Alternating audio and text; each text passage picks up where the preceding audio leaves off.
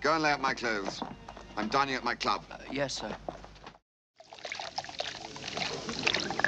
How goes the hunting in Dorset, Charles? And how go you for hounds?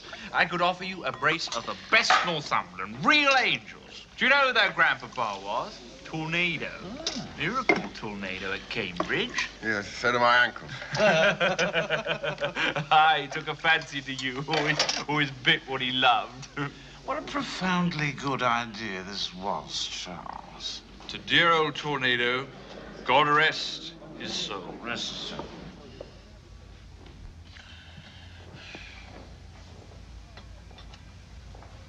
Bravo! Port is essential to wash down the claret. As claret was essential to wash down the punches. Punch was essential to sluice the champagne. What follows? What follows? A little drive round town follows. That most essentially follows. Oh, my dear old fellow. Damn good fellow. so are you, my Charlie boy. We're all damn good fellas. On we go, gentlemen. Where do we go?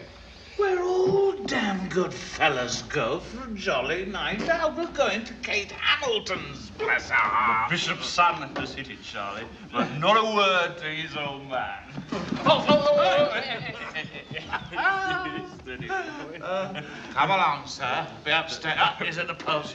The White flag is up, they're off, and it's There it is, He's there it is. the front, Yeah, fellow. there you go. And he's gonna move down, down, There you to the go.